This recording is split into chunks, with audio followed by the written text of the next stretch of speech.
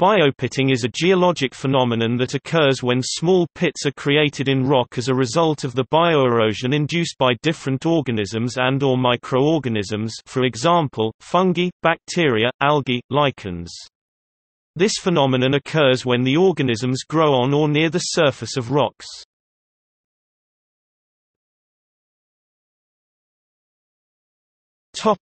Etymology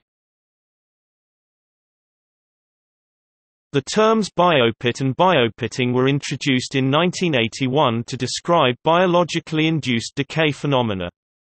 The terms have since been adopted by other authors to describe similar occurrences.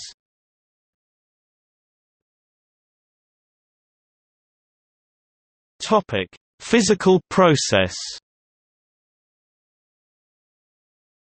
Biopits are classified according to origin, shape irregular, circular, ovoid, surface size 3 mm to 15 mm, and depth range 1 to 5 mm. Biopit formation by fungal organisms occurs via active penetration of the rock without previous activity by other organisms or physiochemical decay.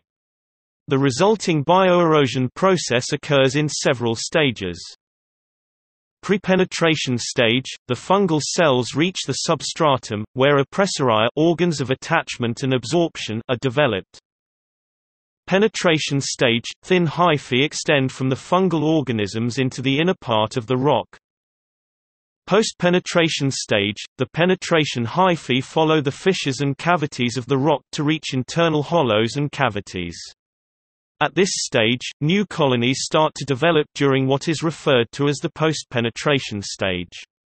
Subsequently, the internal colonies expand to much larger sizes than the superficially visible colonies. Following the initial invasive attachment and growth, biomass increase and turgor pressure from the expanding hyphae can promote the loosening of rock crystals, which will eventually fall off of the main rock formation.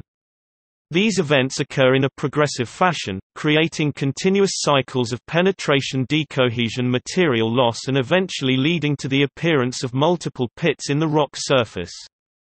Since different organisms grow at varied rates, and in an assortment of growth patterns, the type and shape of the resulting biopits often corresponds to the fungal taxa present in the rock.